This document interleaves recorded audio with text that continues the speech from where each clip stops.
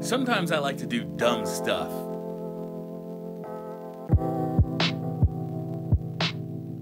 What's going on, guys? Briar Rabbit here. Today we've got a special project, a little something different. I know I've been doing a, a lot of that, a little something different lately, but this weekend I decided to take on a project that has always, frankly, tempted me.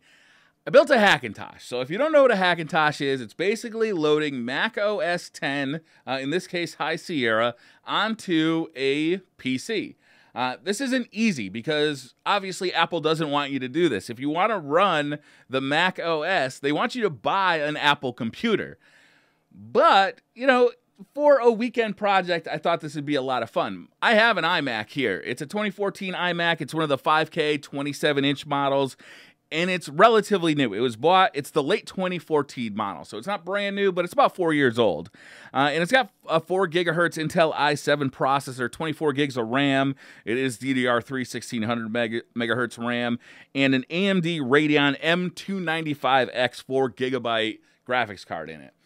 Compare that to this, which is basically a computer I had sitting around in parts form it's a pretty big difference. So this computer was basically unused. It's parts of it used to be my gaming PC, parts of it used to be my streaming PC, other parts were just not being used at all.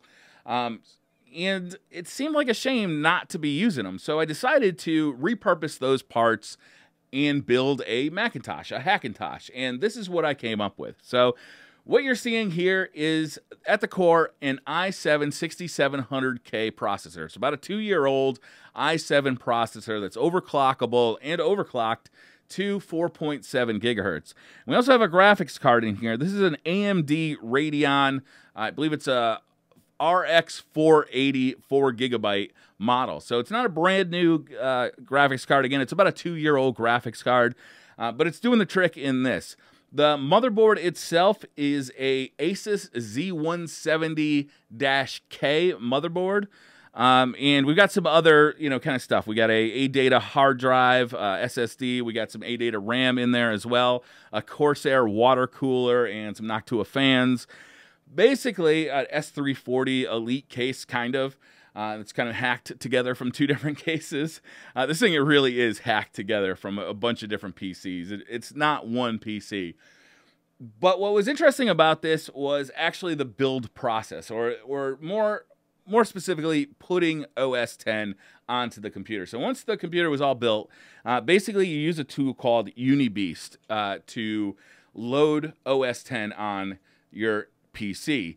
And to do that, you need to have a Mac or you need to have access to a Mac to actually download uh, the operating system, in this case, OS 10 High Sierra.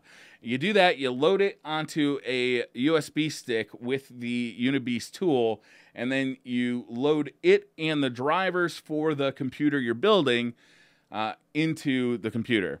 All told, it was not a simple process. Uh, there was a lot of Googling to figure out why my graphics card wasn't working, why Final Cut Pro was crashing.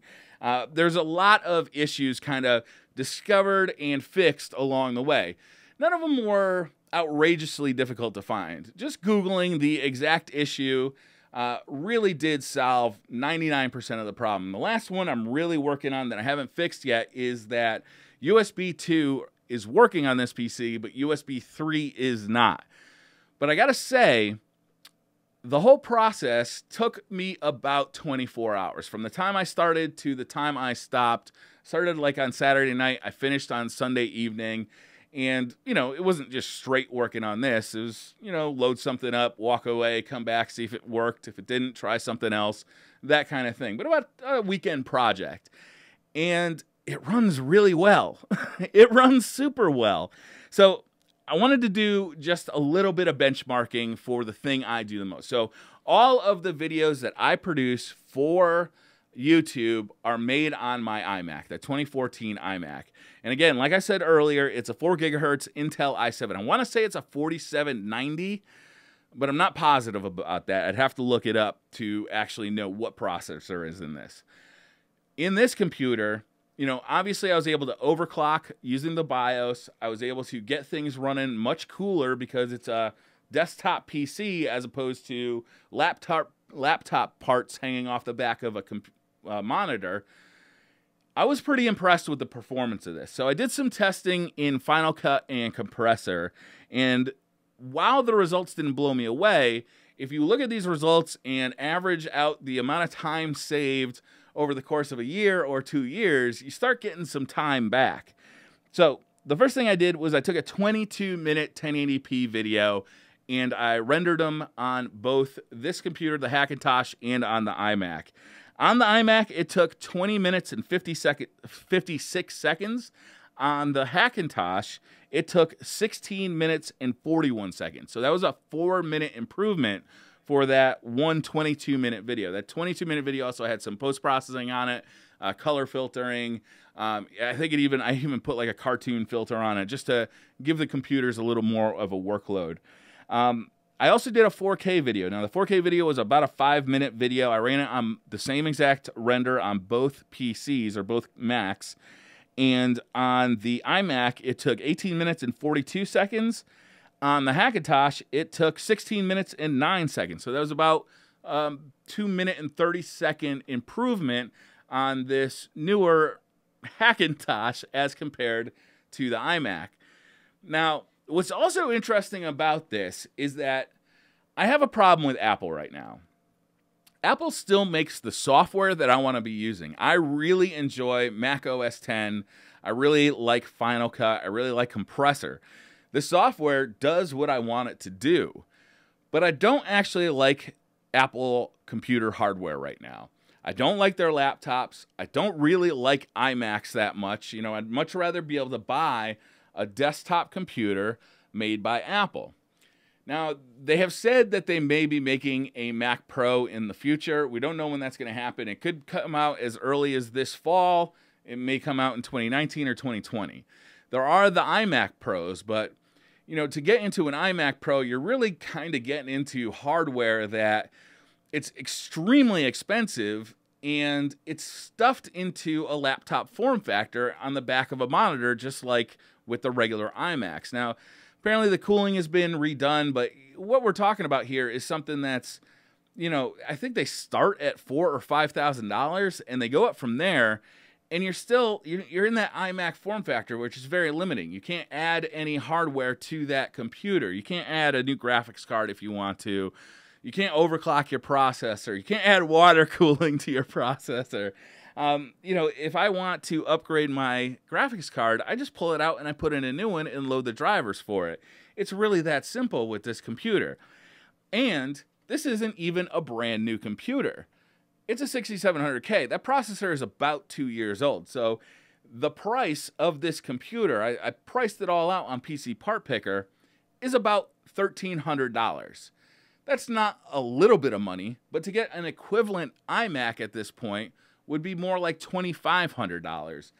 And, you know, you're getting some stuff in here that you can't get in an iMac. You're getting upgradability, you're getting water cooling, you're getting a lot of stuff that you just can't get in a new iMac. So I'd love to see them start making desktops again. I really would. Uh, up till that point, a solution like this makes a lot of sense for somebody who's really addicted to Mac OS 10. And I got to say, aside from the USB 3 ports not working, everything else works fine. It wasn't an easy process to get there. Like I said, it took me some time to get the graphics card working, the iGPU working, Final Cut working. There were a bunch of things along the way. The even getting the NIC card to work in the computer took a little bit of time. But once I was there, everything works great. And it only took about 24 hours to really figure it all out. Uh, you can even put your own monitor on it. You're not locked into Apple's choice of monitors. You can put your own mouse and keyboard on it. I went with these Corsair wireless jobs that I think are pretty cool. Um, overall, I, I got to say I'm really impressed with it. I don't know if it's to replace my iMac for daily use. You know, having two iMacs or two Macintoshes in the office right now seems a bit redundant. But as a weekend project, this was, certainly was cool. And I'm going to edit this video on this computer just to try it out. And the increased speed of rendering the videos is awesome. I do want to talk about gaming a little bit. I did run some games on this thing. So I loaded up Borderlands 1. I loaded up Rise of the Tomb Raider, and I Tomb Raider, sorry, and I loaded up um, Fortnite. So Borderlands 1, that's a pretty old game. It ran flawlessly, no problem. Rise of the Tomb Raider, it was it was playable. Uh, the benchmarks, if you did see a little bit of frame skipping, uh, and that wasn't even like on the highest settings. It was really on medium settings. Fortnite was rough. Um, Fortnite usually isn't that hard a game to run. I mean, you can run it on your phone for Christ's sake. On this computer, it was just not running that good. What I found was there was a lot of stuttering, especially when I was near other people. Now, I don't play a lot of Fortnite. Maybe that's just a thing in that engine.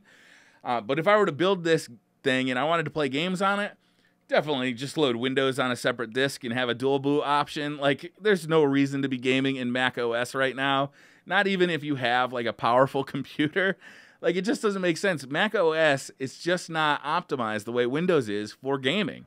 Microsoft has done a much better job with the direct DirectX uh, drivers uh, for gaming. Mac OS, they're, it's not a priority for them, so it's it's just not a good thing to be doing with a Macintosh computer. Uh, but with something like this, you could easily just add another hard drive in there, have that be the Windows boot drive, and just switch to Windows when you want to play some games on the same computer. Uh, it'd be a pretty easy process, to be honest with you. So, overall, I got to say, this was a huge success. I'm really impressed with this computer. It's cool looking. It's got kind of a appley aesthetic to it with the white front and the glass sides. Once you get to the inside, it's a little rougher, uh, you know, with the Noctua fans and stuff like that. But overall, I'm very pleased with it. I'm thinking about getting a better monitor for 4K video editing because this is kind of a weird monitor. It's a very old monitor that's like it's 16 by 10, not 16 by 9, which honestly, I don't know what happened to those kind of monitors. It seems like a better computing, you know, size, but what whatever. Beside the point. I'm pretty impressed with this thing overall. I'm certainly not going to play video games on it. I got other things to play video games on. But for doing work in Mac OS, it works and it works good. So that's going to do it for this video, guys. Thank you very much for watching. Hit that like button if you like the video. Hit subscribe if you're new to the channel. And I'll see you guys next time.